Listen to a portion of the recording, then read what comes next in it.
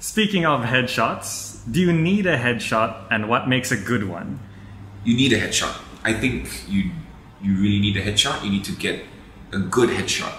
Um, a headshot should look professional because it is sometimes the, the first impression people get of you um, and how you look like. So always check online what you need to do for a headshot, um, especially the size of the headshot. It can vary in different sizes, it, and depending where you are in the world, the size of the headshot um, and the, the requirement for the size could be different. So just check online what size they should be in. Um, usually it should be in color. Sometimes people do it black and white, but I think color nowadays is the way to go. And um, it should be a very neutral expression, nothing too big, nothing too small.